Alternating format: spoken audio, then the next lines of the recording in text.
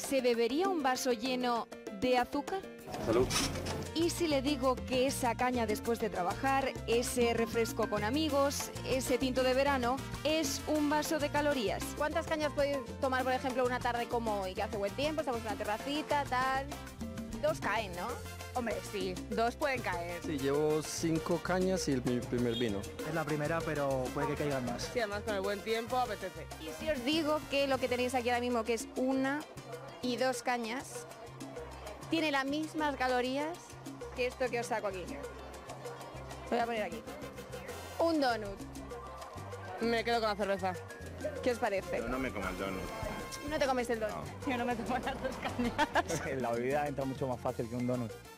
Y al final es, es azúcar 100%. Ellas son las más populares, las más pedidas, pero no las más calóricas. Cero que tú crees que no tiene calorías, ¿no?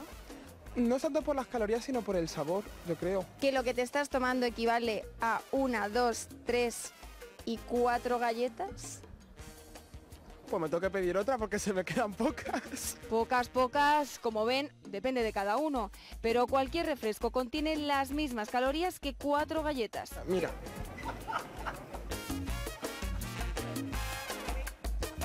Seguimos en el ranking y nos topamos con el refrescante tinto de verano. Es la primera de la tarde. Sí, la primera. Va a ser la última. No me mientas. Espero que no. Y si te digo, sorpresa, aquí viene el momento divertido, que lo que te estás tomando equivale en calorías a esto que te saco aquí, un croissant. Pues me comeré ambas cosas. Esta bebida y la clara con limón están catalogadas como las más azucaradas y por tanto las que más engordan. Aquí, por ejemplo, tenemos un licor de hierbas que ha fermentado con esas hierbas y con alcohol, ¿vale? Nosotros nos serviríamos nuestra copita, esto lo bebemos y el trabajo lo va a hacer nuestro hígado. Toda la metabolización la va a hacer nuestro hígado. Va a convertir esto en dos bloques. Por un lado en grasas, ¿vale?